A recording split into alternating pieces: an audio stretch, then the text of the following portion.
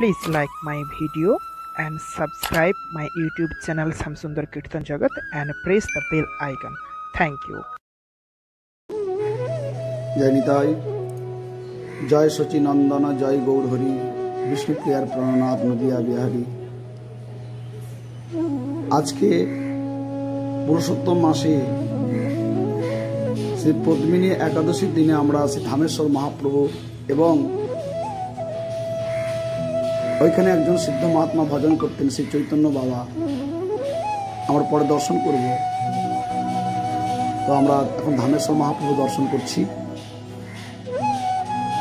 এই ধামেশ্বর মহাপ্রভু স্বয়ং বিষ্ণুপ্রিয়া দেবীর সেবা করেছে এই ধামেশ্বর মহাপ্রভু অর্থাৎ যখন মহাপ্রভু সন্ন্যাস নিয়ে নবদ্বীপ ছেড়ে চলে গেলেন, তখন বিষ্ণুপ্রিয়া দেবীর বিরহ কাতরে। থাকতে পারছেন না। মহাপ্রভু যেই নিম্ব বৃক্ষতলে জন্ম নিয়েছিলেন, ওই নিম্ব বৃক্ষটি এক ভালো ভক্ত মিস্ত্রিকে ডেকে এনে ওই বৃক্ষটি ছেদন করে বৃক্ষের দ্বারা মহাপ্রভুর মূর্তি নির্মাণ করলে করালেন। এবং ওই বিগ্রহ, গৌর বিগ্রহ স্বয়ং বিষ্ণুপ্রায় দেবী নিজ হাতেই সেবা করেছেন। তার ভজনের পন্থা, আমরা যেমন বৈষ্ণবগণ হরিনাম করতে করতে নামের মালা হাতে নিয়ে নাম বত্রিশ কর হরে কৃষ্ণ হরে কৃষ্ণ কৃষ্ণ কৃষ্ণ, হরে হরে হরে রাম হরে রাম রাম রাম, হরে হরে। বলতে বলতে একটি করে মালিকা পার করে আবার নাম করি। তেমনি বিষ্ণুপ্রিয়া দেবী কয়েক মুষ্টিক আত্মতণ্ডর হাতে নিয়ে বসে। হরিনাম করতে করতে গৌরনাম করতে করতে যখন নয়নের বাড়ি যেত একটি চাল এপার থেকে ওপারে রাখতেন।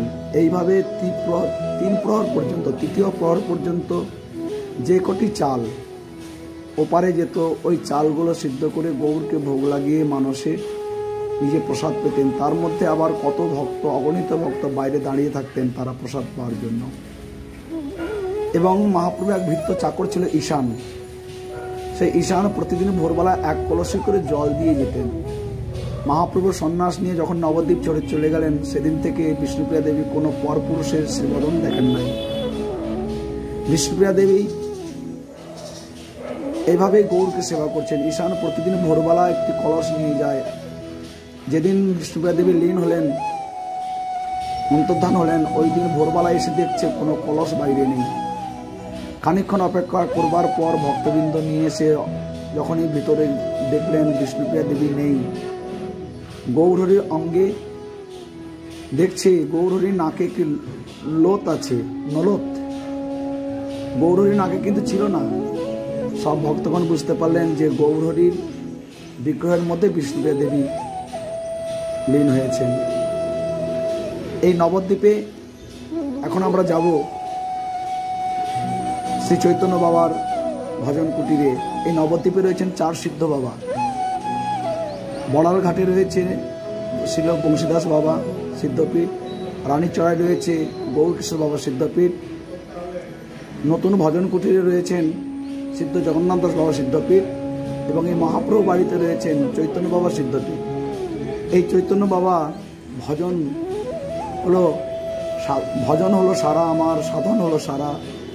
নদিয়া চাঁদের কান্ত আমি, কান্তা আমি, কান্ত আমার গোড়া। এই সিদ্ধ বাবার ভজন বৃন্দাবনে একবার কোনো যোগে সব ভক্তরা দেশ বিদেশ থেকে স্নান করতে গিয়েছেন।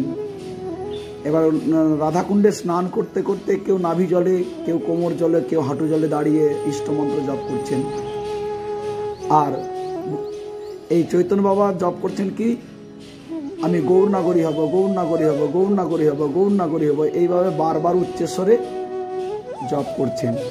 পাশে যারা কেউ গীতা পাঠ করছে, কেউ নিজের ইষ্টমন্ত্র জপ করছেন, এইভাবে সাধন করছেন, তাদের তো খুব অসুবিধা হচ্ছে।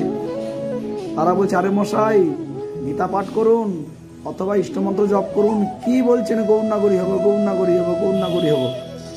সিদ্ধভাব বলছে, আমি আমার মন্ত্র জপ করছি, তোমরা তোমার মন্ত্র জপ করো। এইভাবে ওনার ভজন। এবং গৌরকে এমনভাবে তিনি নাগরূপে ভজনা করতেন যে, একবার খিচুড়ি রান্না হচ্ছে, খিচুড়িতে হলুদ দেওয়া মাত্রই গৌর বরণ দর্শন করে, হলুদ বরণ দর্শন করে হা গৌর বলে ঝাঁপ দিতে গিয়েছিলেন, কত ভক্ত ওনাকে রক্ষা করলেন।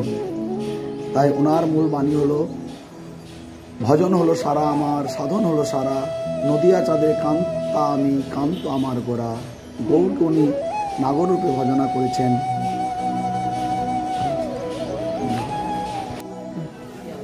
আমরা দর্শন করছি সেই সিদ্ধ চৈতন্য বাবার সিদ্ধপীঠ, সমাধি মন্দির।